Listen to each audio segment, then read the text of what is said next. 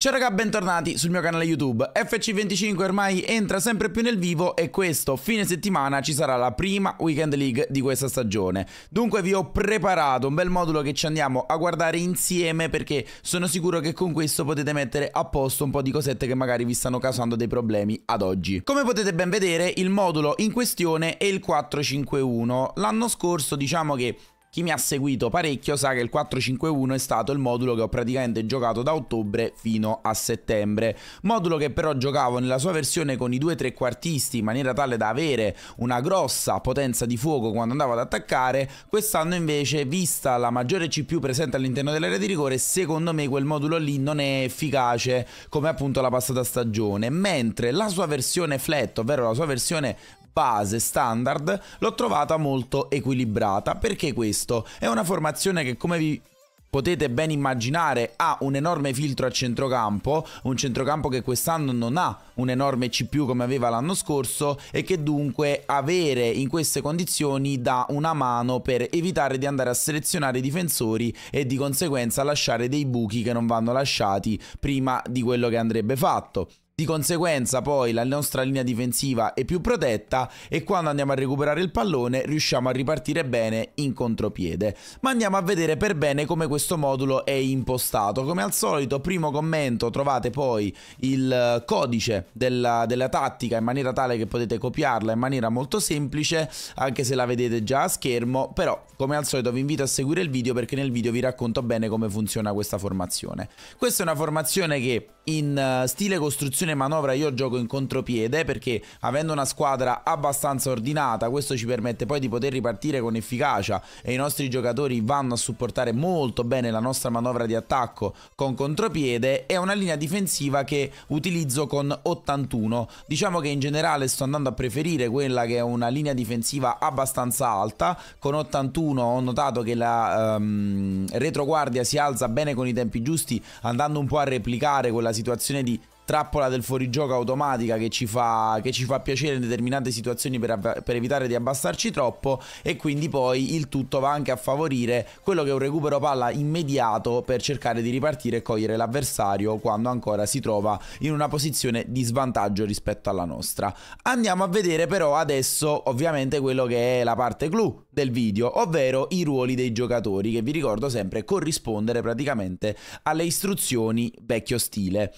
Sul portiere vado ad utilizzare portiere fuori dai pali plus plus con l'unico compito possibile che è bilanciato in maniera tale da avere comunque il portiere sempre nel vivo dell'azione quando magari vi vanno a partire in contropiede gli avversari lui sarà pronto ad uscire. Infatti vedete qui la zona di attività che il giocatore va a ricoprire è molto più ampia e anche in fase di impostazione comunque è un uomo in più su cui contare. Avete visto quanto è importante avere lo scarico libero in difesa visto che se fate i passaggi col giocatore marcato succede un disastro disastro. I due difensori centrali li vado a giocare entrambi su difensore con difensivo. Questo perché voglio che mi vadano a coprire bene l'area di rigore senza strafare in mezzo al campo, visto che al momento se andate a prendere un difensore alla Militao con stopper e magari non siete bravissimi, ve lo ritrovate troppo fuori posizione e quindi si ritrova poi la difesa scoperta con tre uomini e non più con quattro. Sui terzini il uh, mio pensiero è stato quello di andare ad avere quello tra virgolette meno tecnico, perché devi dire che Cancello è poco tecnico,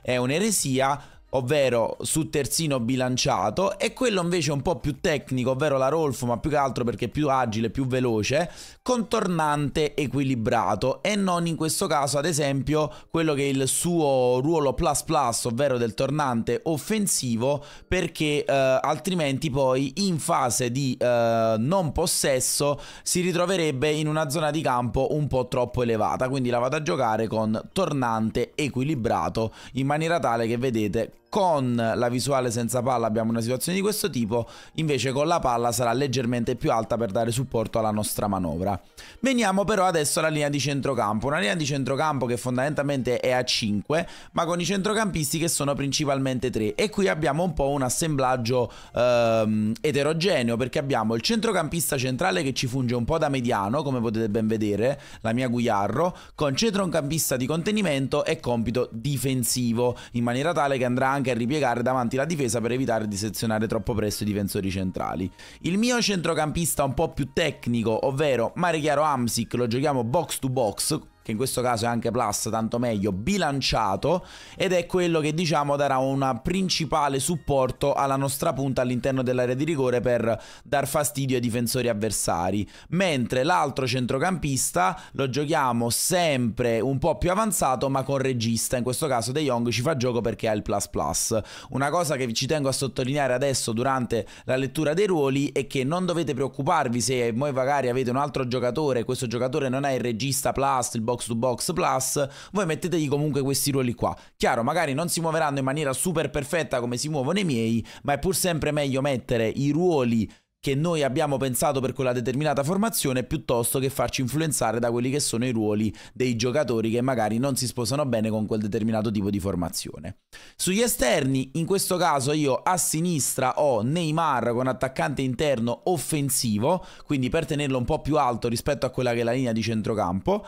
e poi all'altra parte abbiamo la Hansen con attaccante interna ma equilibrato in maniera tale da utilizzarla un po' più da raccordo con quella che è la fase di difesa e poi la transizione offensiva. Vinicius Junior invece fa l'attaccante di riferimento con attaccante avanzato offensivo. Come potete ben vedere andando a guardare le hitmap abbiamo una difesa che è coperta per eh, la sua interezza all'interno dell'area di rigore. Questa porzione di campo è occupata dalla Guiarro e poi presiedata anche da Amsic e De Jong qualora selezionati e portati indietro. Hansen e Neymar che vanno a prendersi le fasce, Vinicius che fa il riferimento al centro. Un modulo che quindi senza palla appare così, ma che quando andiamo poi a condurre noi l'azione diventa in questa formazione, che come potete ben notare assomiglia molto a quello che è un 4-3-2-1,